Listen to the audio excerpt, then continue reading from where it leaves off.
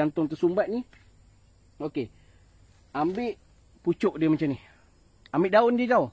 Jangan ambil sekali dengan uh, dia punya jala dia ni. Betul-betul ambil daun dia. Okey. Ambil daun yang muda, pucuk. Abang muda ajar untuk uh, buat segelas lah. Makna kata kalau nak buat banyak, kalikan sendiri. Okey.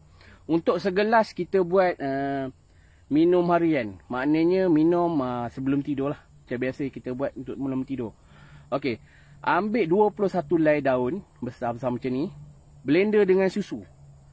Bukan susu tin tau. Susu segar. Terpulang lah susu segar yang Dash Lady ke apa. Yang low fat ke apa semua kan. Terpulang. Tapi jangan susu cair. Jangan uh, bukan susu tin. Okey. Susu segar betul. Okey. Ambil tu 21 lay. Blender dengan susu. Untuk segelas air. Okey. Minum di kala uh, sebelum tidur. Untuk kenal pokok ni pun senang.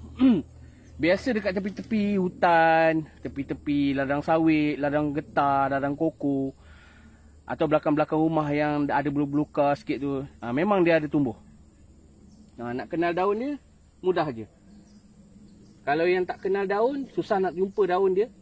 Cari je uh, buah dia. Ha, okey, buah dia macam ni. Nampak? Okey. Uh, ini muda. Kalau yang tua Nampak biji muda dia pun warna putih. Kalau yang tua sikit, biji dia akan jadi berlendir. Jangan boleh cari ya. Sebab kebetulan hari ni abang dia memang ada dekat hutan.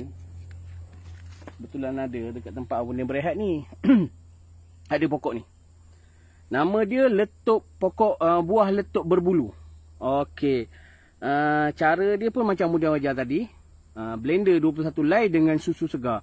Minum sebelum tidur. Eh? Okey, cuba amalkan yang mana ada masalah jantung tersumbat tu. Cuba amalkan. Sebab ini petua-petua orang lama uh, yang Abang Mudin pelajari. Abang Mudin cuba kongsikan kepada semua agar ianya tidak ditelan di zaman lah. Ya? Abang Mudin mendoakan pada semua. Semoga sihat. Uh, dan uh, boleh buat amal ibadah dengan sempurna. Okey, Assalamualaikum.